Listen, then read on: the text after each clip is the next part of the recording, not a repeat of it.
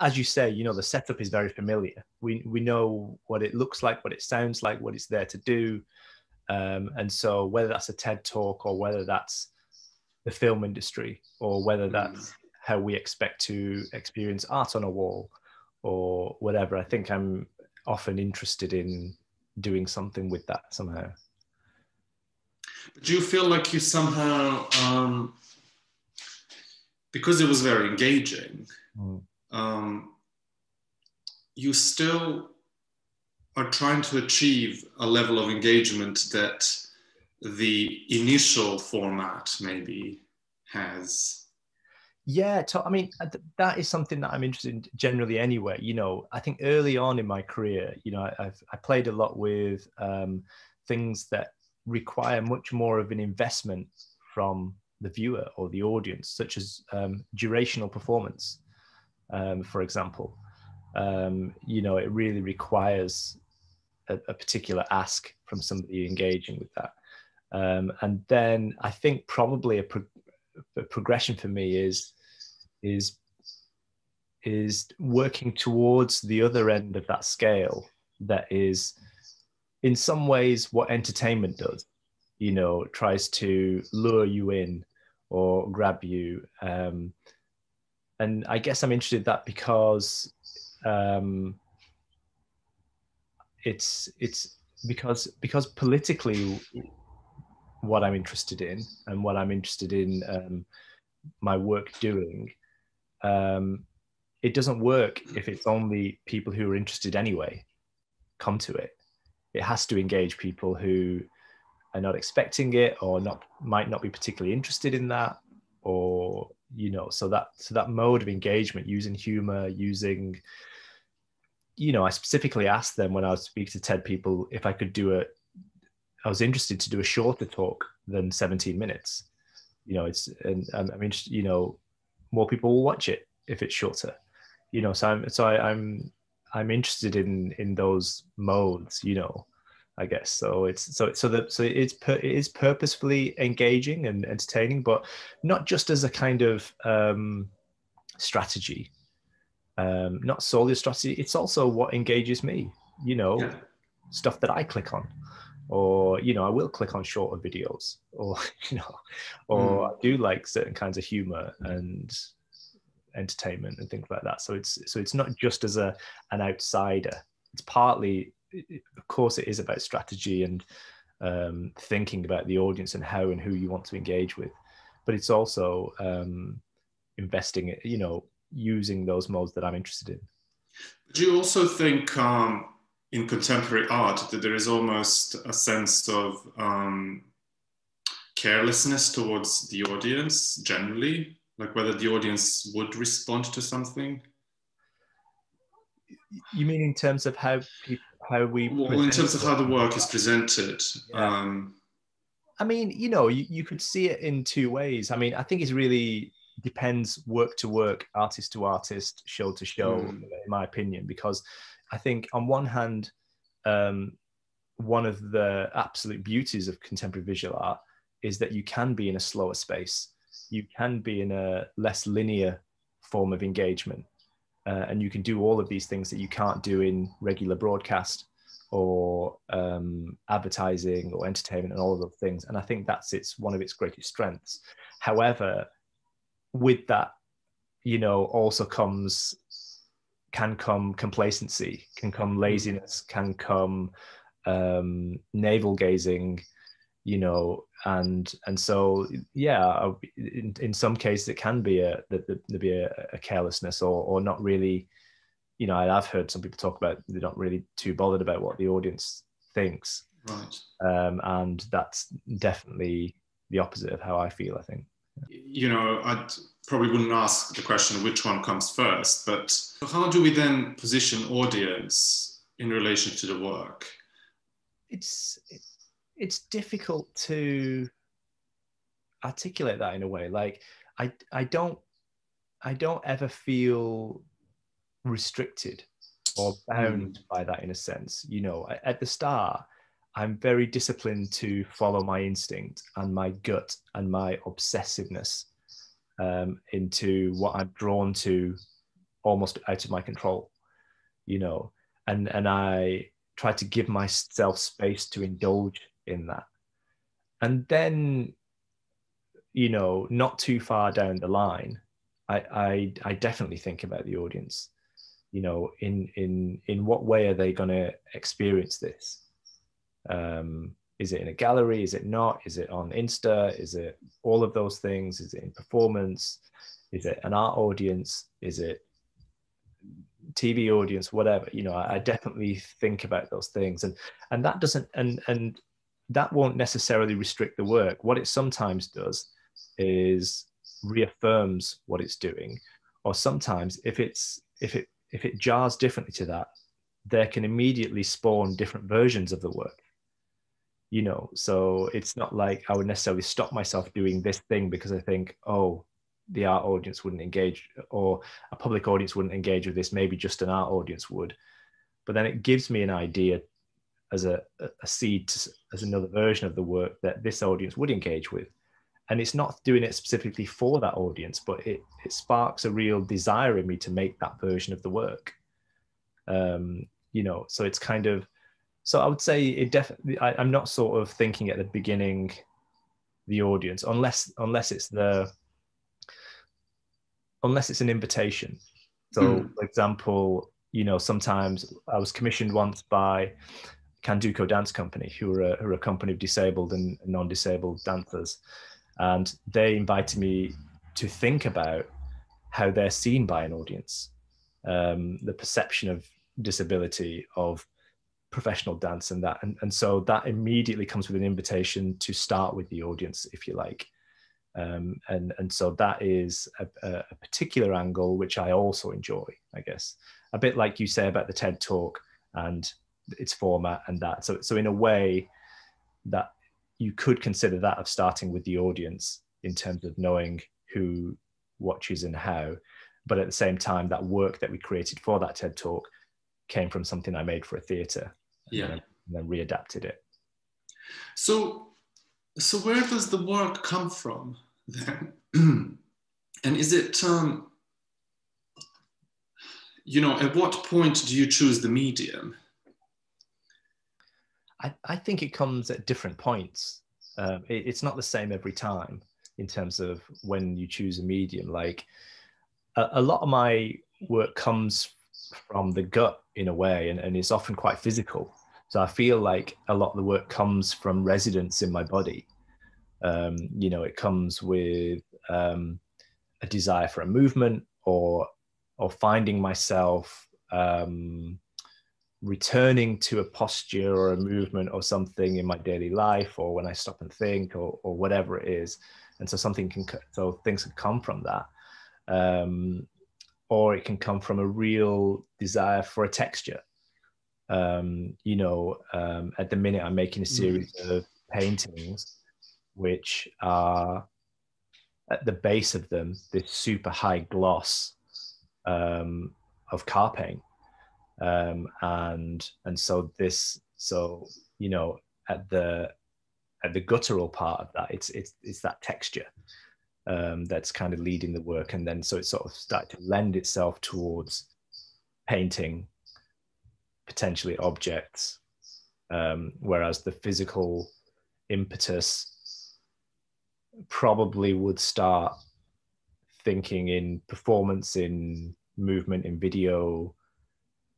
And then as it goes on, um, as I try things, I sort of look at them and, and go, yes, this is this this needs to be performance. Or sometimes I look at it and go, no, actually, this is not going to work as performance. It needs to be images or it needs to be video. And sometimes you you try a bunch of these things because you're not quite sure, and they all work, you know, or, or sometimes they none of them work. And so yeah, I, I feel like I have to be quite open in the, the early part of the process of trying to be as non-judgmental of the ideas as possible you know to kind of follow something through to a certain level through through instinct and, and not worry too much at that stage and and to give it a little time before you kind of step back and make that judgment of this isn't working or this this feels right you know and then and then audience and context and stuff will start to come in after that i think I mean, one of the things I'm doing basically as part of this series of talks is, you know, I'm an architect, so I don't, um, I don't understand the fully the language of the art world. And I, I you know, obviously I'm engaged with it uh, to a certain extent, but you know, as I'm as I'm doing this and I'm talking to all these different people, I'm kind of discovering all these different types of artists, and it's really fascinating to to see what the kind of well, similar to the question I've just asked, is like where does you know where does the medium come in? Where does the idea come in? And you know, at what point does do those things emerge in your practice? So I was talking to uh, a painter, Andrew Grassie, and you know, he has a technique and he has a kind of meditative process that he is completely in tune with the process of like painting egg tempera um, these beautiful little paintings. And his main artistic desire is to find what to paint. It's like what what does one paint? What does one process through a medium that is somehow his medium? So but you seem to be a type of artist where the artistic practice is maybe embodied in your experience of the world or how would you how would you put it? Yeah i mean i guess so. It's definitely you know the, the idea or the impulse always comes first. Um, well even even saying that not necessarily. You know sometimes i break yeah. end up breaking those rules. I, I think I think the thing I've learned most about myself through these years in, in sense of that is, is to trying to be open to the impulse uh, uh, uh and um, and tr- and trying to be honest with myself as possible about where something comes from and what my desire is or my itch or you know obsessiveness at that point without having ever let myself get into I do this, I make this, and so I need to make another one of these. Um, you know, at the very early stages of my career, I remember first being in the press um, and people referring me to as referring to me as a photographer, and I was like, I'm not a photographer. Why they call me a photographer? But then at that point, I'd only ever shown photographs. So of course, you know, why wouldn't you call me a photographer? And and I, and I remember having a real reaction against that um, and and so then I started to also make video works, um, and then that started to expand into performance and other things. And and I think it's that I don't feel necessarily that um, you know I'm obsessed with one medium enough for it to be my lifelong um, thing, if you like. I mean, I probably do film more than other things and performance, but still, I need to do where the ideas go, if you like. And it's partly, to, I think it's to do with, it's partly to do with what, how to exist in the world.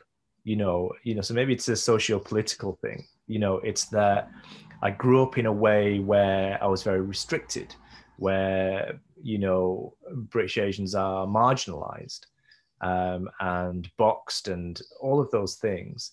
And so in my practice, I feel like I'm interested in expansion, um, in occupying, um, and you know, and, and all of these things that I receive things in. You know, I receive things in moving image, in performance, in people, in objects, in things, and so I feel like I want to communicate in all of these things. You know, it feels like a, a natural response, if you like. You know it's um i grew up you know uh, i'm sure you speak a number of languages yourself. You know i grew up bilingual so it's kind of you, you sort of learn very early on that there isn't just one way to say something to understand something to be something. And and this really is at the core of my practice um, and so it's trying to make sure that i stay limber um, and, and, and open and free and and it partly um, it helps my interrogation of my own work and and my questioning so, you know, I'm always asking myself, you know, just why is this a performance? Could it not just be a video? Um, could it just be a, um, a series of photographs or a series of drawings? I mm. always ask myself, no matter what medium I'm working in. And so that helps me interrogate and refine why something should exist in a particular medium you know if there's film for example you can do things that you can't do in other media like time lapse or slowing something down loads or you know with with a with a photograph obviously you, you stop time or with painting in a particular style you can take liberties with reality or you know all of these things and so i think in terms of where it comes from it's definitely increasingly um, politically motivated so I'm interested in um, visibility, not just for myself, for any minority culture within the mainstream. So, and, and this doesn't necessarily is not just about representation, but it's about transformation. So, you know, how you can um, transform these things, if, if you like, and not, not just have, there are other artists doing the important work of um, representation of of putting um, things out in the ether in a in a purposefully ordinary way, if you like, because that's what needs to happen. I think I occupy maybe a, slightly different place where um, I'm interested in applying a transformation to those things in order to, you know, you could say it's more shouty or more attention grabby, or but something where you can't deny it somehow. I feel like I've just if, veered off way away from your question there. no, but I think that's exactly. I think I think you know I think you you you led me to kind of think about I don't know psychoanalysis, and I'm just wondering if if if we make a psychoanalytic parallel, maybe the way to understand is to ask you who are you in this psychoanalytic uh, situation are you the psychoanalyst or are you the person that's being analyzed? Um, I, I think probably I would I would have to be both, or or go from one to the other. You know, I I I work from an impulse of how I feel. So you know, my in the sense that my my autobiography definitely informs my work, and I'm interested in reacting against freedoms that I've not had and continue not to have. Um, but at the same time, as I as my agency increases, as my voice and visibility increases, I'm interested in um, additionally helping create this for other people. You know, uh, with the understanding also that if I'm creating it for myself in um, in a real way, I'm also creating it for others, you know. Um, and so, you know, it does help exercise my um, my tools and my practice by working outside of my own stuff as well. You know, when I'm commissioned by Candoco to make a work that's kind of led by disability, or if I'm commissioned by choreographer Amy Bell to look at um, queerness and gender, or by another group to look at you know um, young people or that sort of thing you know those things my engagement with that does help me to as i say sharpen my tools and to exercise my empathy um, and to you know be the be the listener but to, to hold space in order. Mm. but but you know um, and a lot of those works is is really about listening holding space and and trying to articulate for somebody else what they might not be able to articulate for themselves in that moment. And and that's often what the what the work becomes in those instances. Um, but then i also do that for myself somehow and you know i need to somehow also do that just for my own impulse of how i feel about myself. I guess you've developed those tools by uh, being in well doing that to yourself in a sense. And so then you're kind of exporting those tools into other forms of um, relationships and yeah i think so. i think so. Like when i when i did the commission for candoco it was really interesting because you know i don't have any personal experience with disability um, and so where i was coming at it from was what i do have experience of is being from a marginal marginalized culture and assumptions being made about me um, which are incorrect uh, a lot of the time. And so I was coming at it from that field, uh, and and that in that actually um, provided a really great bridge uh, for me to be able to then have those conversations with the dancers and and to bring out a work which which you know I felt like I was using the same ethos, uh, if you like. Mm. Um, if we stay on the med- on the question of the medium, mm. I'm wondering whether there is a very particular and if we if we put that in relationship to the psychoanalyst and the person being analyzed i'm wondering whether there, there are mediums that are more appropriate for self-expression uh, or some of the mediums are more appropriate for this kind of media, mediational aspect of your work if that's the word. I, I, I think it's less to do with medium and mm-hmm. more to do with um, in, in, all of these instances, whether it's me for myself or me um, being, you know, a director or medium for somebody else, if you like, if you want to call it that, um, it's about people being seen on their own terms. Um, so, you know, for me, um, that's easier to do in a way. I, am aware of how I'm seen in the in the press or by other artists or whatever, and and I can respond to that. And for somebody else, it might be different. So, for example, you know, if I work with Candoco, they're performers, they're live performers. They're not video makers, they're not painters uh, as their as their primary thing. So, they're, they're very engaged with um, the terms that they are seen with in, in this in this thing. So so it makes sense for me to do something in in in their medium, if you like. Whereas if I was invited, if I was to go in and I was invited by a YouTuber um, who you know just shoots videos from their kitchen, then you know that's probably the medium I would use. It's kind of like, yeah, it's kind of like part of that empathy exercise, part of that listening exercise is about trying to key into and how can I help with you being seen as you want to be seen. Does that now relate to that quote, the Bruce Lee quote that you? I'd be like water. Yeah. Um, I guess so. Yeah, it is. It's being as responsive as as possible in a way, but but also, you know, it's not just. Um, it's not like say, coaching, right? So you know, in in a in a in a typical way that coaching works, um, there's a belief that the coachee already has all of the answers that they will ever need. And and that you know that as the coach your job is to help them is, is to hold a space and, and create a space for them to bring that out solve their own problems you know this sort of thing. Whereas it's different for me as an artist.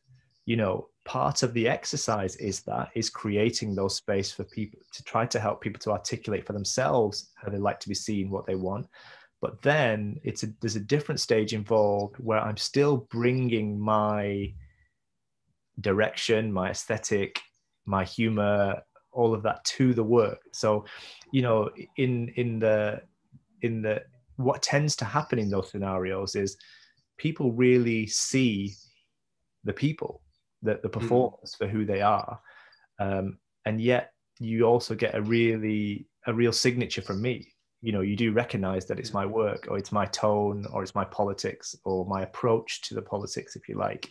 So it's it's very collaborative in that sense you know so it's not you, you, i couldn't describe it as purely a selfless act of therapy or coaching or you know it is a it is an artistic act which employs um, some of the tools i would say from those things to try to make it as fair or as honest as, as, possible really. You know it doesn't work for me if it's just i have an idea and a vision. Can you come and do this perform this for me?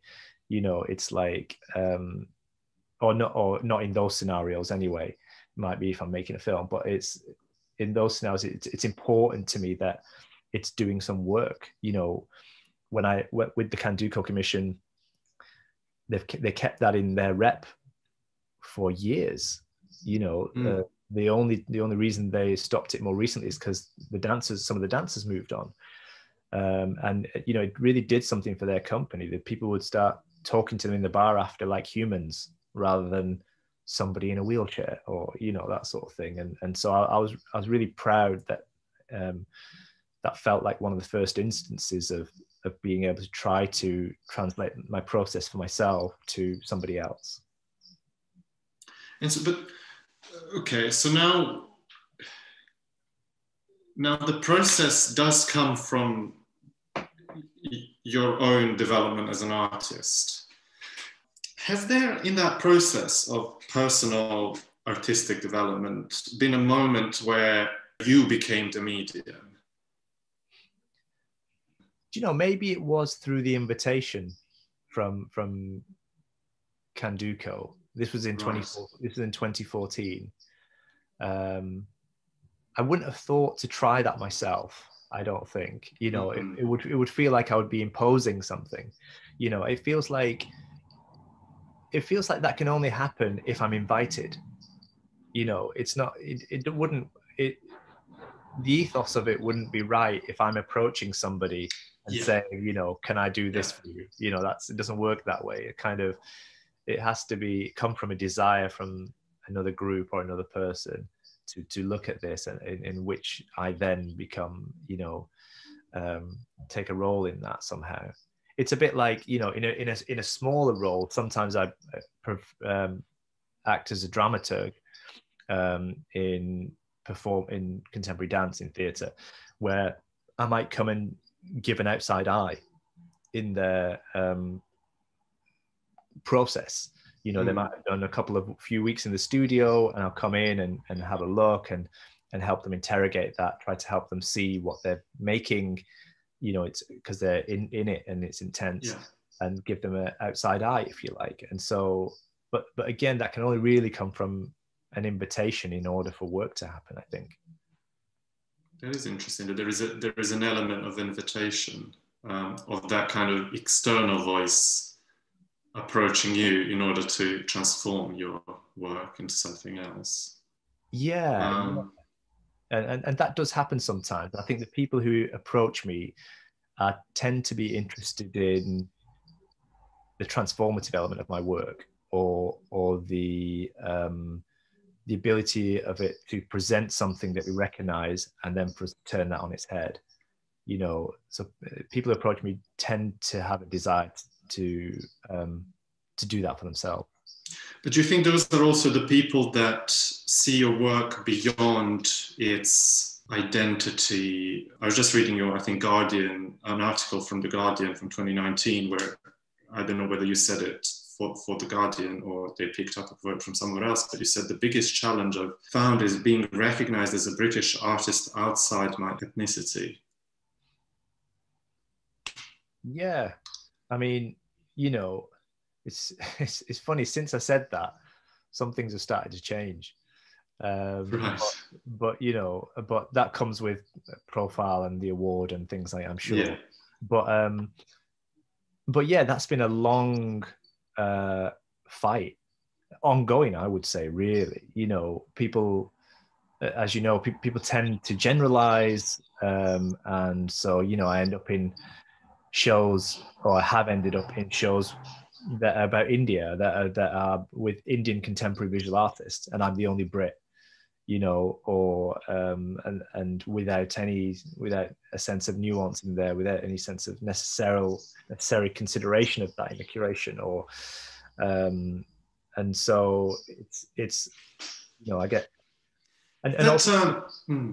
because I'm not Anish Kapoor and I'm not making abstract works you know I'm, I'm making works that specifically use the sig- signs and signifiers that have cultural specificity to them you know? And so it I, it's it's it's you find it too easy to sort of lump me in you know cultural diversity brown guy thing. Like it's like it's a section like it couldn't exist also in a show uh, it, that's you know with with your Damien Hirsts and your you know and and, and whoever really is Brit- British artists. And so that's been a, a definite you know challenge I, I i'm just wondering what is the challenging aspect of that? Is it the misunderstanding of your work or is it a kind of false paradigm within the valuation of work in general in relationship to the identity of a of an artist? To, to me I, I i feel it as um a a denial of my britishness. Uh, a, a denial of what the reality of being a Brit or being diasporic identity is. You know, it's it's a minimizing of that. It's a yeah, I would say it's a denial. You know, it feels like that. So it feels like you're fighting against erasure. Um, mm-hmm. you know, so that's that's that's the best I can describe it, if you, if you, if you like. You know, it's, it's amazing that it's done in the name of inclusivity, yet it's not inclusive. That's right. That's right. Yeah, absolutely.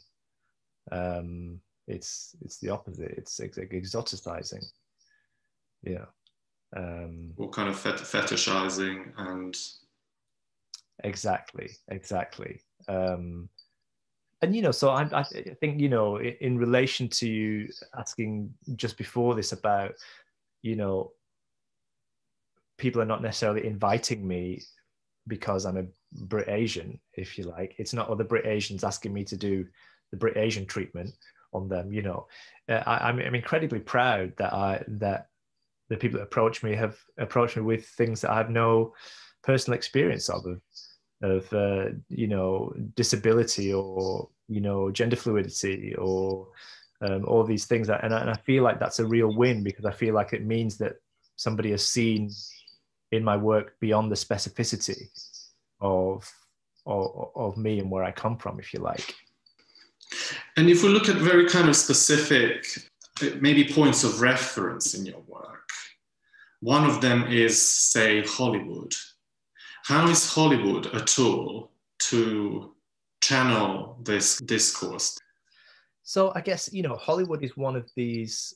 Um, so, for example, the, these things that I might be looking to explore and say, um, it would be pointless for me to create a new language in order to express them.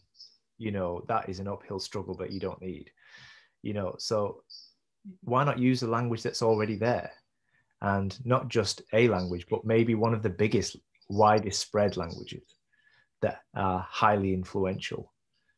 And so Hollywood is that for me. You know, the, the, the power of Hollywood in order to influence, you know, my nieces and nephews, right? They're, they're, they're young, they, they like to dress up all the time, right? But when they want to be a superhero, they can be Superman, Batman, Spider Man, um, at a push, Wonder Woman. You know, no, none of these people look like them. You know, so inherently in that, this desire to be heroic, to be um, impressive, to be whatever, is also a desire to change gender for my niece. Is also a desire to change ethnicity for my for, for all of them. And you know, if you if you imagine the power of say, you know, say the Batman movies, they make a huge profit before they sell a single cinema ticket. You know, in in merchandise, in in in action figures, in in in costumes, and so the power of this um, of that le- of that end of Hollywood, if you like, to to influence who we want to be, who we ex- who we who we feel is an acceptable person in society, um, is huge, and so that's that's that's where I want to have influence. You know, that's where I need. That's that's why I'm interested in in that as a as a language, as an influencer, as um, and you know, again, that doesn't just come with strategy. That comes with also my love of you know that sort of big end of cinema yeah. amongst everything else. You know, um, so I think that's that's what Hollywood serves to me. So you know, at the minute, as well as well as kind of the particular aesthetic that I'm, I'm liking to use in my films i'm also making action figures you know mm. from the characters from my films i'm also making kind of clothing uh, from from from these films to almost be in a gift shop you know it's like uh, i like the idea that these ideas of who these characters are in my films could occupy space in our day-to-day lives. You know if they could end up in homes and children play with them if little white boy dave is desiring to be a black woman vicky because she's badass and she does kung fu and she's got an incredible costume you know or if it's on a if there's certain ideas that are embedded into a t-shirt and people putting them on their own bodies and moving around the world with them then you know this idea of occupying space in people's lives on people's bodies in people's desire you know that's kind of um that yeah that i think that's that's the big attraction for me. How do you then explain um, bollywood in terms of appropriation of a different um, culture by a culture that perhaps in that kind of original sense is close to your ancestral culture? Um, I I find it really different because Bollywood is still really niche for a particular audience. It's still made specifically yeah. for an Indian audience, and it just so happens that there's more than a billion people in India, I think, and so you yeah, so without needing to cater to anybody else, you can have fully Hindi language movies that can be multi-million billion dollar industry um, without a need to cater outside. Um, whereas that's, that's interesting. whereas hollywood yes they're on about their domestic markets but obviously it's the thing which gets translated through all different countries. You know how many things are things translated into um, and you know they're just seen all around the world and it's ubiquitous um, whereas Bollywood definitely isn't. You know, uh, you, you know of Bollywood. You might have seen a movie or two, but only if you happen to be interested in something a bit different. You know, it's not it's not like everyone w- will know it, and and also the idea of Bollywood comes with an idea of India, comes with the idea of Indianness in a very exotic way, uh, whereas mm. the idea of Hollywood is speaks to us of importance, speaks to us of what deserves to be captured and spread around the world um, in beyond um, country specific. You know, it speaks to us of the power of the West. Um, you know, that kind of um, goes everywhere. It's like yeah, universal language. Yeah, and, and you can afford it lots of different styles. Mm. You know, it can be drama, thriller, horror, independent, it can be you know superhero a lot of things. But bollywood is a very particular kind of thing. It's different from say indian independent cinema. Um, you know. Yeah.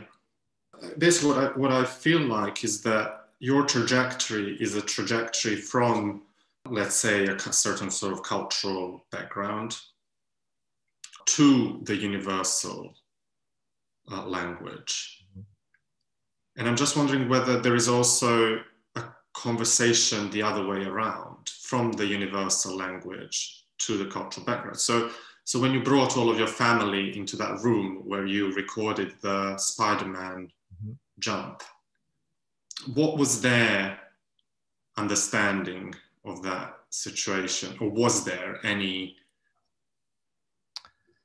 sense of unfamiliarity I would say um, unfamiliarity was was only really there in the sense of a film crew being there. Right. You know, but my asking them to do this weirdly wasn't so unusual, meaning that um, you know, we've been through a, big journey, my family and I, over the last 40 years or longer, you know, but and so, you know, we've been through moments in our past history where we haven't had as close a relationship where there has been tension or violence in in in this thing but then you know certain family members moved on or passed on and and, and now we're a very tight close family. Uh, and so there's a there's a real trust and between us and you know a pride which goes in all different directions between us. And so when I asked them to do this, they didn't really question it. Um, you know, they they they trusted me as someone that they like as their family member and will come and do this thing. and then I, I wasn't too worried about explaining the meaning to them because I knew that they would get it more when they see the piece. Um, and the and the really the you know the the best part of that circle, if you like, is when they are then in the gallery, not just watching the work, but when they are watching other people watch the work. You know, this is a, a very different experience. You know, of them of of them getting a lens on our family home or the ordinary, the domestic, the marginalized into this arena that's being celebrated and hordes of people are piling around and watching it on loop. Um, you know, that is the understanding of the work, if you like.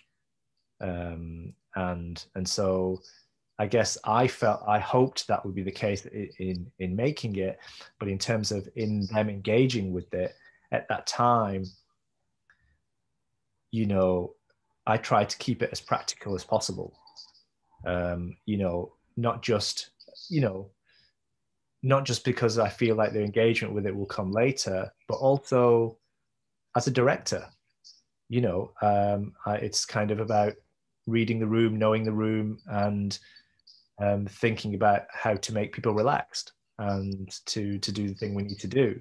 You know, if I would have been in that moment talking about conceptually what I'm interested in, um, and what the work should do and that that would freak everybody out you know they'd be like oh well, what should we do i don't know how to do that whatever but just keeping it very practical in in in the way that we would be in that room at family gatherings and stuff like that was was yeah.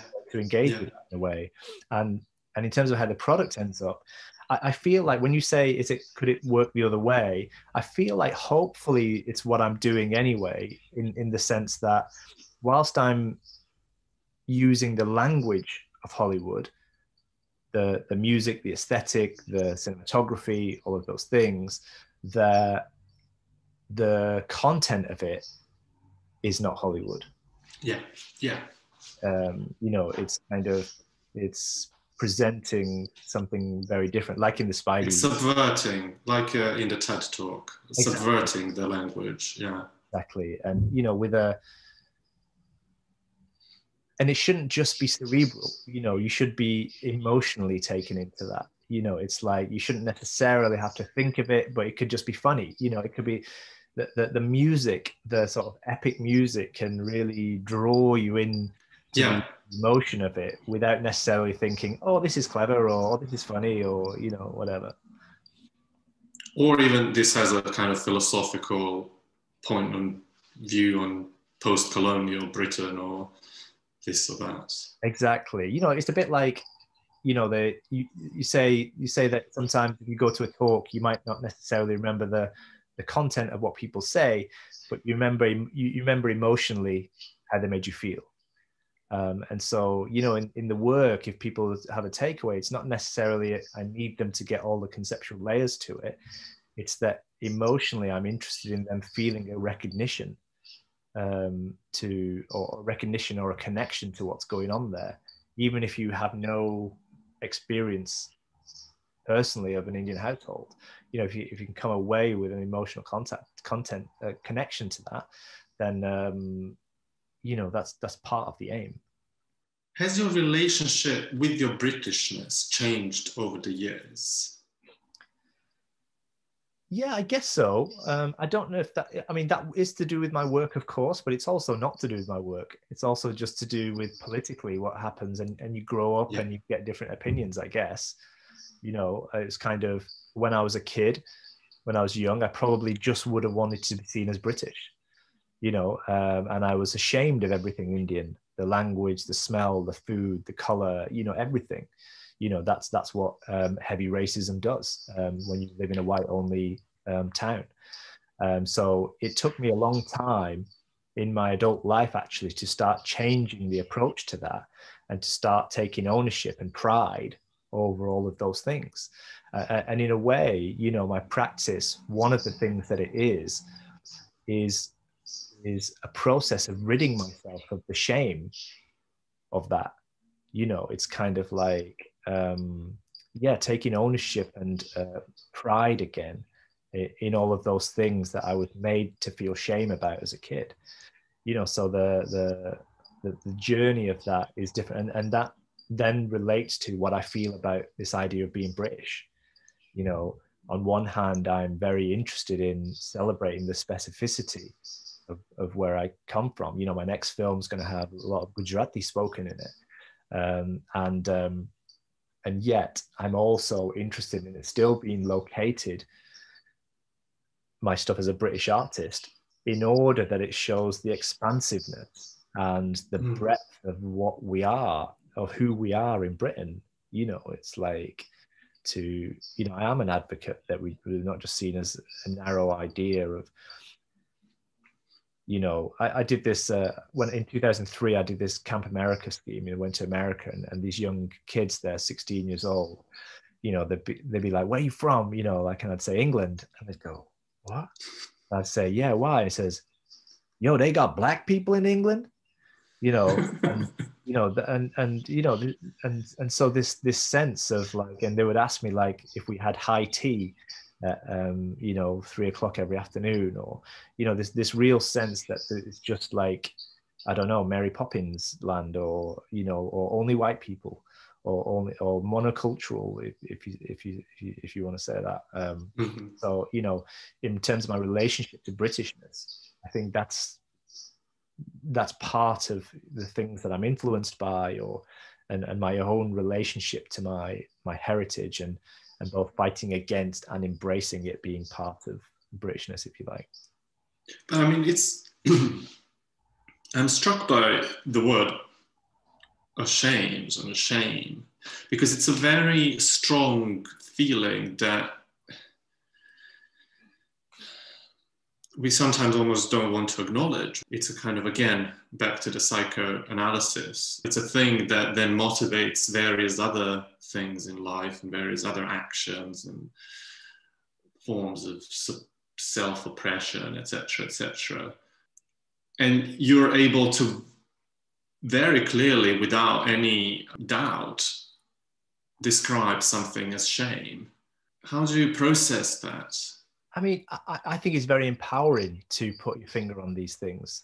You know, it's like you feel more of it by not admitting it or by not finding it. That's what it is or was. And I think it helped me realize that it wasn't my, it's not my fault you know it's like you know shame actually is even though we don't talk about it because it's shame um it's i would i would argue it's one of the absolute biggest motivators of how we shape our identity. You know it's it's if not the biggest you know and and so you know it's very if, if i'm interested in genuinely looking at my relationship to to heritage to identity to existing in this world then to not look at shame I'm not sure what I'm doing then. You know, it's like if, if you know the idea is to try to look as in depth and as honestly as possible uh, in order to uh, for the work, if you like, to be meaningful, for it to make a difference, and so to to have realized about that shame and to call it what it is helps me then take action towards it. Um, and you know to, one to realize that it wasn't my fault. To to and and that and that takes a, that is an ongoing work anyway. You know to go back and to have seen all these things in retrospect you know like the idea that i didn't really have any teachers of color um, but i didn't think twice about that until until much later. You know i just accepted it and and i'm angry about that. You know like that that shouldn't be the case. Like the, the idea that i didn't even question it then you know shows how how deep rooted this this shame or that or, or, racism that I was even perpetuating you know and so it, it, it, one is part of an unraveling of you realize in retrospect all of the things that were unfair that you'd denied or you'd just brushed over or, or whatever. And then it also feeds what you want to do with that.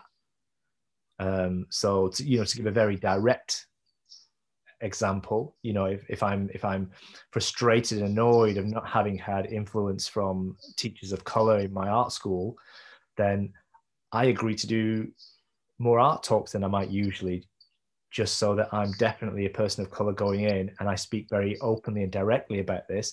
And I noticed that other artists, students of color, gravitate to, to me and want to have these very direct conversations that they're not able to have with their tutors.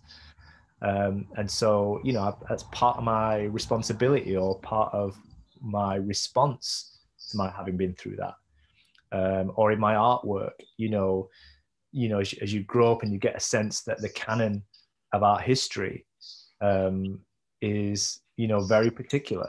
And, you know, it didn't give you a lot of spaces to look at in terms of your own work. So, you know, it's in my response to that is to want is not just my work, but also celebrate other artists' work who are doing something different to that, if you like. So it's kind mm. of so the shame, if you like, it becomes cathartic to understand that that's what it is, but also becomes then a place to become a motivating factor of the action to be taken in response to that. You could call it healing. You could call it um, yeah. um, activism um, whether it's specific artwork or just how I live my life, you know. Is there then a moment of having to re-establish relationship with the the whiteness that you were surrounded by? Yeah, I guess so. Um, you know, I think part of it for me, and and I guess this was also further um, lit up through the uprising of Black Lives Matter movement, um, you know, it's definitely brought up a lot more anger um, about those things. And and so what I've been finding myself doing over the past year is trying to work out what to do with that anger. Um, and you know, part of me sort of goes, okay, this this next work feels really angry, and I have to, I have to go with it. And then part of me goes, oh, does that make all of my previous work irrelevant? Do I discard all of that? You know, and this is me now. And then, you know, I've had to go through a real journey this past year to realize that that's not the case. That actually, rather than that, it's just creating an additional space for this anger to live with all of those other things. And that that's completely normal. You know, that it's going to be we're humans it's going to be contradictory so that the anger can live in my practice with humor with hollywood with you know something more gentle or, or whatever. And, that, that and that's just part of me i guess. And so uh, creating space for that i guess. So you know in terms of reestablishing my relationship with that it's it's both uh, allowing anger in I guess, which I would, which typically I might have shut out. Is, it, is there also an element of recognizing some of that white identity within yourself? Yeah, absolutely, absolutely. Um, but that, but in a, in a way, you know, when you say white identity, for, for me, mm-hmm. what I what I feel from that is, you know, you you you realize through the environment that I've grown up in, you know, mainly sort of a, a white only town that I grew up in, you, you also internalize and perpetuate racism. Um, usually, usually against yourself. You know, the fact that you would never question you're the only person of color in the room, the fact that you would question that you wouldn't question that every marker of success is white and male and straight. Um, you know, that's it's, it's it's a recognition of that. So I think it's less a recognition of whiteness and more recognition that you know these things that we know that it, it's not as simple as you know um, if you're brown you can't be racist. Or if you're a you know if if you're a woman you can't possibly not be feminist. Or you know the, these things are so deeply embedded in our structures that we all perpetuate it in, in some ways and, unless we take action against it. And so in the, the, recognition of my if you want to call it whiteness or you know kind of that that part is is a recognition of the things that i have been perpetuating and that are still wired into me in some sense that i'm that i'm act that i actively have to take action against. You know it's like you know like it's coming out now it's not good enough to be not racist you have to be anti-racist. And and that's it, it's work and you know and, and and it's not just white people that have to do that work but they but they do. Uh, but it's it's it's all of us actually. You know I, I also have to do that work. So there's the kind of two polarity but there is one that then you talk about and it's kind of part of your work and that's the universality. So where is that universal human?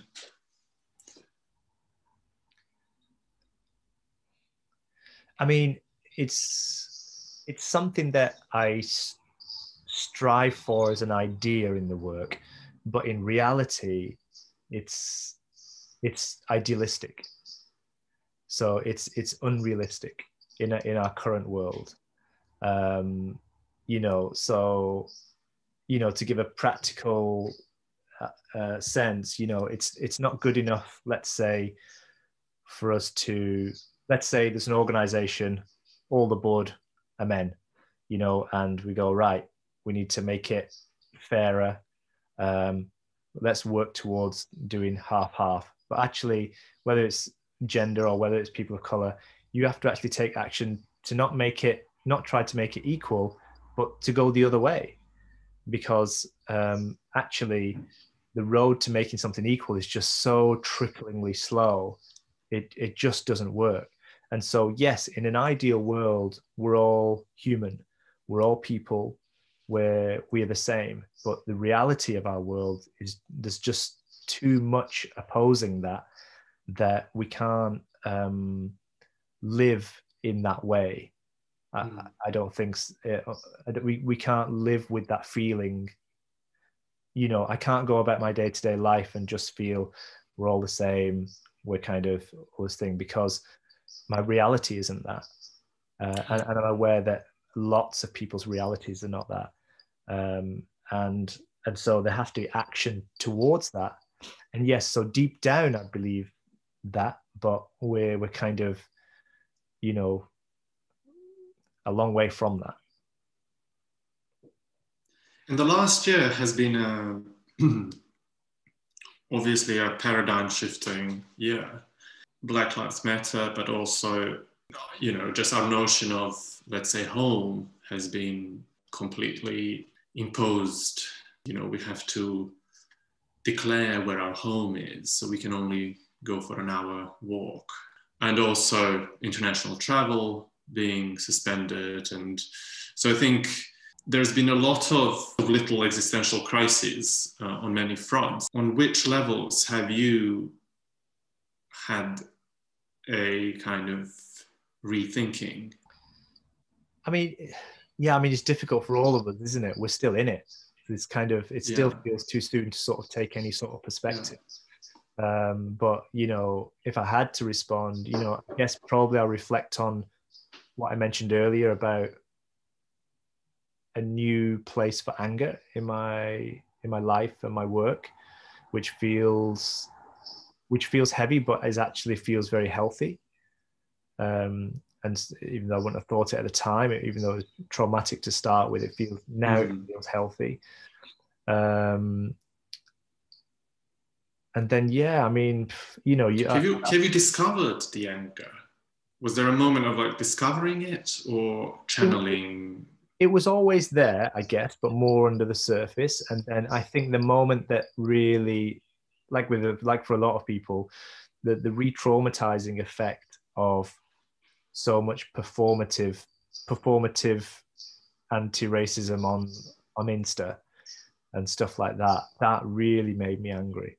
That really, you know, particularly from organizations, uh, but even individuals, sometimes friends, you know, that that was really triggering. You know, I guess because it you, you see it in bits over the years anyway, but happening all at once by everyone. Um, I think that's probably what unleashed it. Um, and and to start with, it probably wasn't even anger; it was anger, but also sorrow and despair and anxiety and all, all of those things exacerbated by lockdown. You know. Mm. and so that's definitely that was definitely a, a big moment, and then um, and then finding a way to start exercising that in my work um, has been hugely useful for me. And, and, I, and I also feel really grateful for that, you know, meaning so many people will experience that, but without having an out, outlet. You know, what, what do you do with all that if you if you don't have a what something to do with that? I, I, I consider myself extremely lucky um, to to to have that to to be an artist, but also to be an artist in a place where I'm good at that, where I have a practice of that already um, in a way. Um, you know, I, I, in lots of ways, I feel really fortunate as well. You know, like it's just me and my wife at home. We're not in necessarily caring responsibilities for children or elders. You know, we've got food on the table, shelter. We're not in that sort of stressful situation. I know so many people who are. Um, we have had uh, COVID deaths in in our in our family um, which you know is is you sort of do think about in terms of the um, uh, demographics of people who are experiencing it um, mm-hmm. worse than others.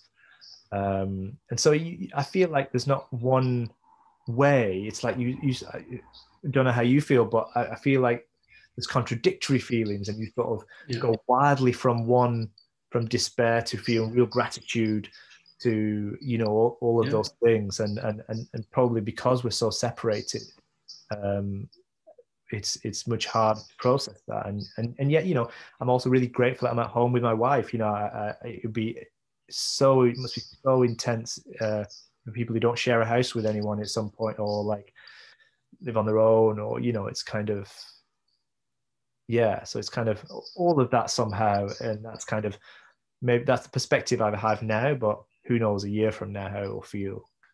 It's also interesting because obviously these perspectives change, and you know, some people I've spoken to, I'm trying to kind of, you know, I'm asking whether they've had a moment of revisiting certain, I don't know, things like books or films. I personally uh, really had a moment of revisiting existentialism. I don't know if you've had a mo- if you had any any of those kind of I think moments of revisiting some ideas or I think probably I started revisiting drawing. Um, right. And um, which I haven't done in many many years.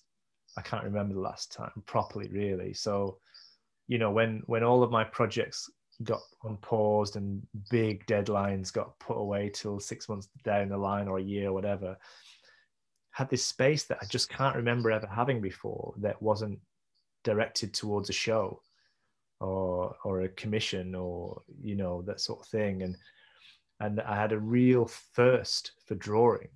Um, and and so I got my iPad and and started making some animations and um, and so you know I thought animations I have to draw every cell of of the drawing. That's lots of drawings you know so it's yeah. kind of like yeah. it's, it's not the kind of drawing i necessarily wanted to spend a long time drawing something. It was just i needed the physicality of uh, of drawing of doing this repetitive act of this sort of thing. Laboriousness of it. Yeah i think so. Um, and so I, that that definitely ignited um, in that period which has now continued in in mm-hmm. other forms. So you know the paintings that I'm making are, are really um, have come from that um, sort of thing, mm-hmm. and I don't I'm not sure they would have come about quite well. They definitely wouldn't have come about quite like that if if that if that period hadn't happened and it sort of mm. something, you know. So I think that's I think when um, I think my natural way isn't necessarily personally to